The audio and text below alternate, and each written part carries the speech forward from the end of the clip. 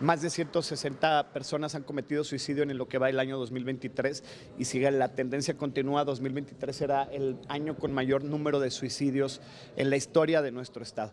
Desafortunadamente, estas 161 personas que hasta la, hasta la fecha han tomado esta terrible decisión, no son solamente números, son personas, son familias que se encuentran hoy en día en luto y que estarán en estas próximas fechas también de luto. El regidor del PAN, Manuel de la Peña de la Parra, señaló que el 2023 será el año con el mayor número de suicidios en la historia de Durango. Lo bueno es que la Secretaría de Seguridad Pública ha puesto a disposición de los duranguenses la línea amarilla.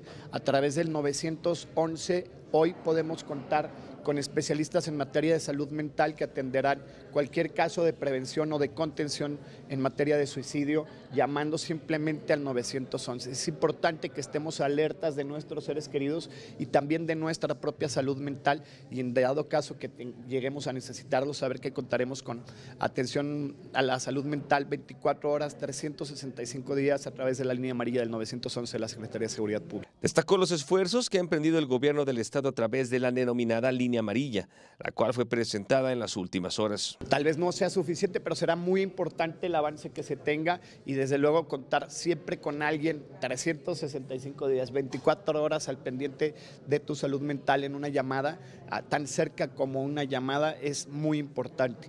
Con una vida que se salve, cualquier gasto que se haga será suficiente. Con imágenes y edición de Rogelio Castañeda en Canal 12 Noticias Informa, Salvador Mercado Hurtado.